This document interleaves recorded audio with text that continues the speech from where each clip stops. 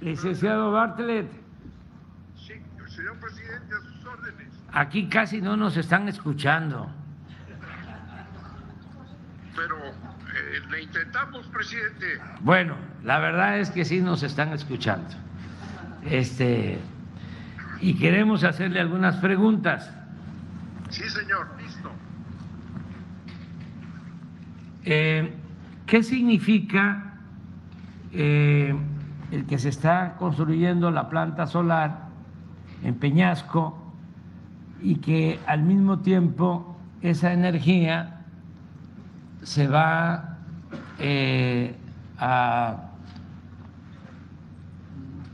trasladar, se va a transportar hasta Baja California, porque de acuerdo al plan se tiene pensado eh, crear una línea de conducción especial para comunicar a Baja California con todo el sistema nacional de electricidad.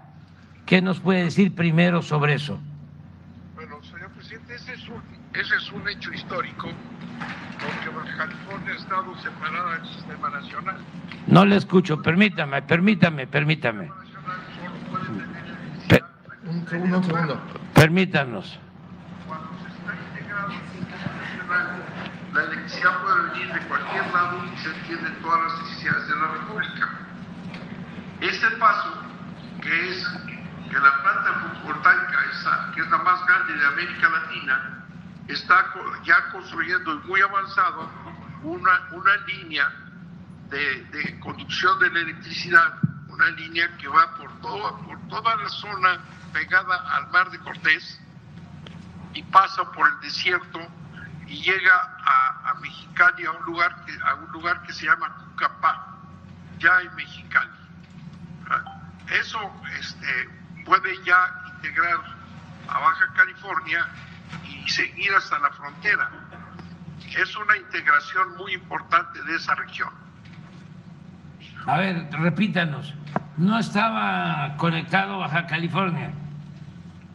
Baja California era, se llamaba un sistema aislado, si no estaba conectado con el sistema nacional eléctrico.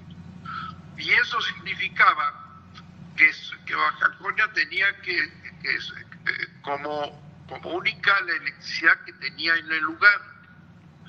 Cuando está toda la, este, la intercomunicación nacional, la electricidad se maneja en todo el país no tiene que estar nada más en una región.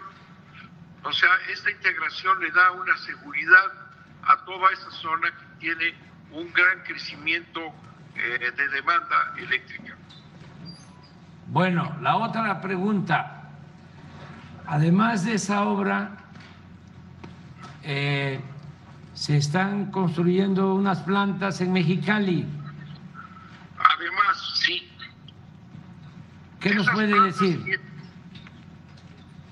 Esas plantas tienen para atender toda la región que, que demanda mucha electricidad. Estamos construyendo cinco plantas, tres de tres, este, una aeroderivada que es más pequeña y otro y otra tecnología que se llama de combustión interna. Esas plantas de combustión interna tienen la ventaja, son como motores, motores enormes de los de coche.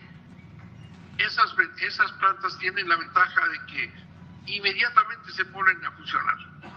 Las otras, las de ciclo combinado, combinado, que tenemos dos que son más potentes todavía, pero tardan en, en- en- echar a andar para producir la luz. O sea, estamos combinando los dos tipos de tecnología.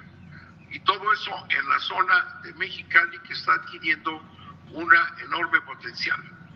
Además estamos construyendo una línea, estamos eh, una línea muy importante por todo el Pacífico que va a poder sacar esa electricidad hacia el centro del país. O sea, es, Mexicali se está convirtiendo en un centro muy importante de distribución de electricidad. Una pregunta más. ¿Cuánto es la inversión en Mexicali y cómo está eh, cerca, también en San Luis Río Colorado, en los límites de Sonora con Baja California. ¿Cuál es la inversión exacta de, to- de todas? Sí, Todas son, son 2.100 millones de dólares. 2.100 millones de dólares, señor presidente. ¿cuánto es nada más en Mexicali? 1.300 millones de dólares. 1.300 millones en Mexicali. ¿De pesos o dólares? De, de dólares, presidente. Bueno, 1.300 millones de dólares. es que ya el peso va a estar más fuerte que el dólar dentro de poco. Bueno, pues entonces empezaremos a construir en, en- en pesos, pero ahorita el dólar es el que con el que contratamos fue en dólares.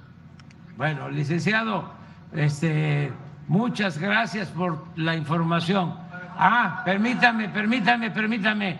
¿Cuándo Sí, señor. terminan? ¿Cuándo terminan?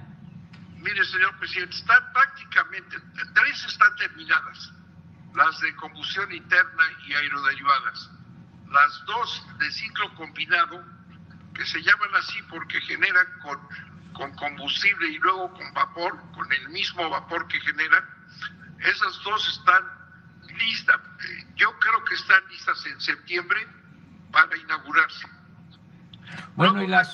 porque el contrato nos pide, el contrato termina un poco más adelante, pero eso es para hacer las gestiones de conexión, pruebas, etcétera. ¿Me puedo estarán comprometer? prácticamente terminadas, estarán prácticamente terminadas en septiembre, señor presidente. Bueno, ¿me puedo comprometer a que vamos a venir a inaugurarlas en septiembre, antes de que yo termine? señor. Eh, Sí, señor. ¿Mi mandato? Ahí estaremos. Bueno, ya quedamos. Ahí Ese es el compromiso. Un abrazo, Gracias, licenciado. señor presidente, a sus órdenes. Adiós, Gracias. adiós.